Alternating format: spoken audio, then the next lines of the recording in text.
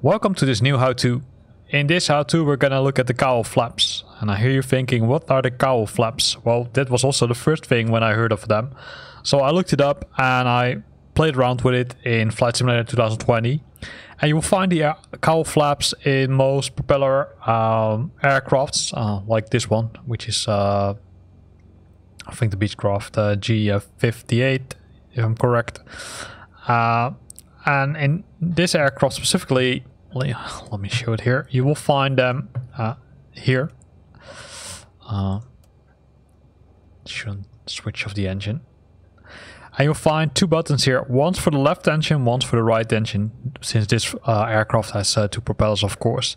So you can pull this thing down, and then when you go to the outside of the aircraft, uh, and I see that the other engine has stopped uh, running, so we need to fix that uh, in a few minutes. And when we're gonna go below the aircraft, you will see this piece. Right, so let me uh, close it again. Go back. Right, now you can see everything is closed. Now we'll open it again. And now you'll see, I would say, a piece has been pulled down. And this is to, I would say, optimize the airflow in the engine. Uh, for example, you can use it during takeoff or to cool down the engine if you see that the engine gets too hot. Uh, then this will help you reducing the temperature in the engine. Uh, keep in mind that it also has a negative effect since it's, I would say, uh, it, it, it's, I would say, in the direction of going down. You will see that it will, if you look at the airflow, it will hit this piece, so it could affect the airflow a bit uh, so you might need to take some corrective actions on that. Right, so that's how it works. So let me uh, start the other engine again. Let me see if it's running. Not yet, so now it's stable.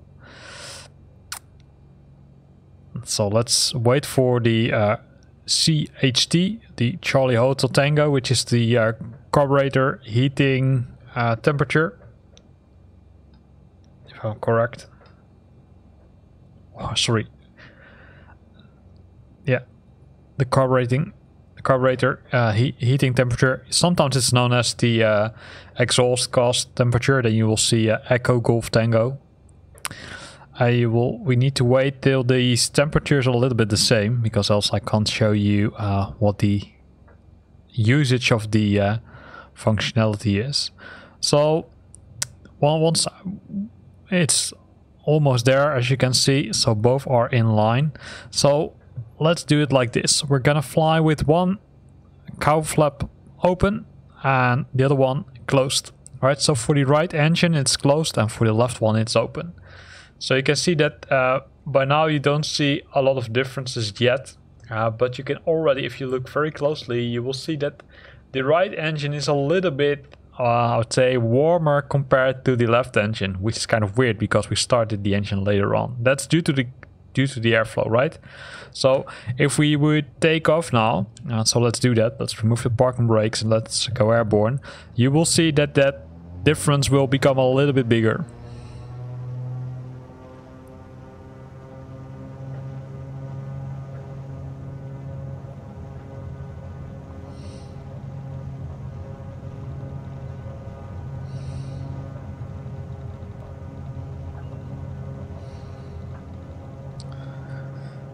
So we're airborne as we speak.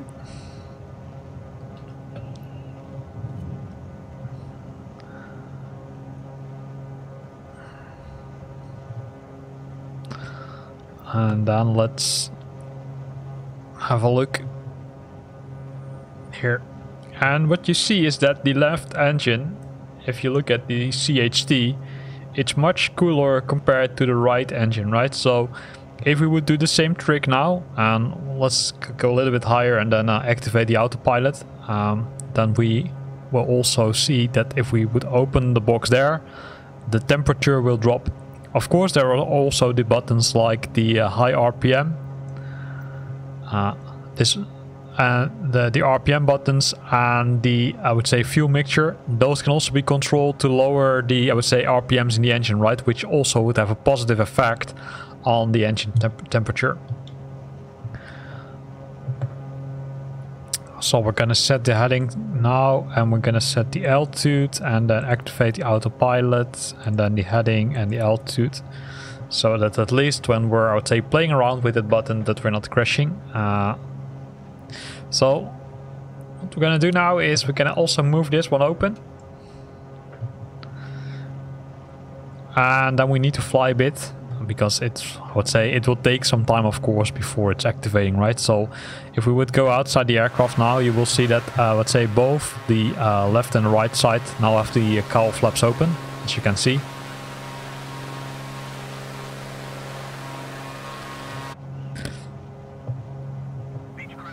Um,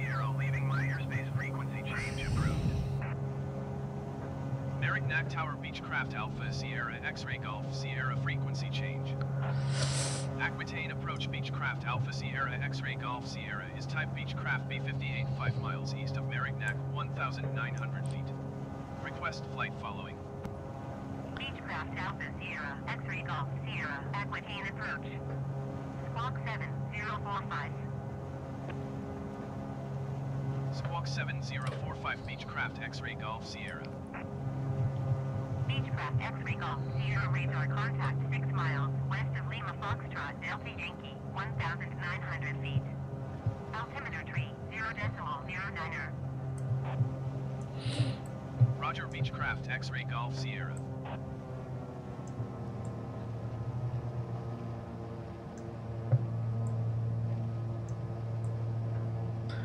So we're gonna reduce this a bit to reduce the RPMs. And you can see, although it's pretty hard to see that it it comes down. It takes some time before it comes down. Believe me, it takes you probably another 15 minutes probably.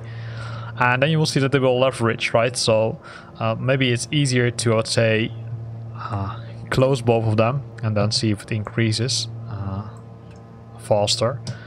Uh, keep in mind that we now reduce the RPMs, so that will take some more time, right? Because the more RPMs, the more heave is generated, so you will see it uh, quicker happening. Although if you look very closely, you see it slowly moving up to the same position as the uh, right engine. I say slowly because it's really slowly.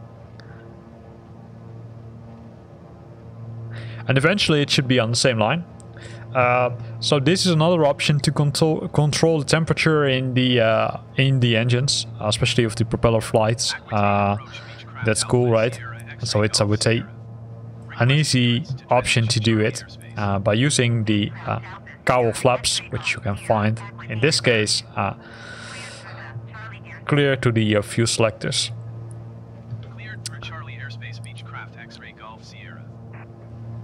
So here ends this how-to. Hope you liked it. If you liked it, then consider to use the like button. If you've got questions or comments, then feel free to post them in the comment box below. And if you want to stay up to date about new videos I'm posting, then make sure you're subscribing to my channel. Thanks for watching and see you next time.